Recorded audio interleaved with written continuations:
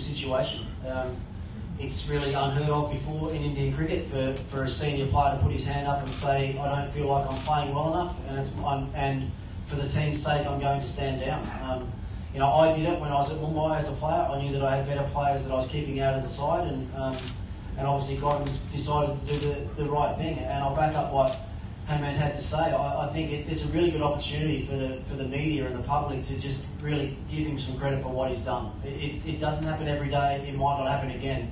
Um, in Indian cricket or in IPL cricket, you see someone of his stature, uh, of his of his talent, and, of, and his ability, and his overall cricketing record, just to say, you know, I think it's it's time for, for a change of direction for this team. So, um, you know, I'm proud of what he's done.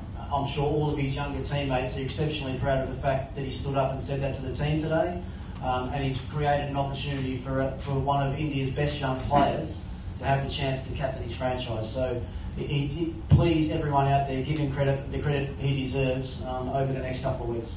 Absolute final question, Arani. Madhav, this is for you.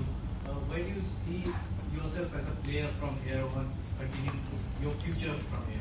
I don't know. I think it's too early for me to decide on that as well. Obviously, at the moment it was all about team. That's why I've taken this decision. Let's see. Let me sit down and decide. I think we still need.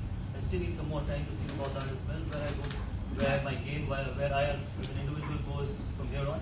But at the team, uh, at the moment, it's in the middle of the competition, and it's about what DD achieves in the next eight games is more important to me as compared to what I achieve in the next eight games. So I think or what, what I achieve future as well. At the moment, it's all about DD. I think we should all concentrate in uh, achieving the results which we are looking for, and uh, we still have a great chance or a, an absolute possibility of turning things around and being in the playoffs. So let's talk about DD at the moment, not about myself.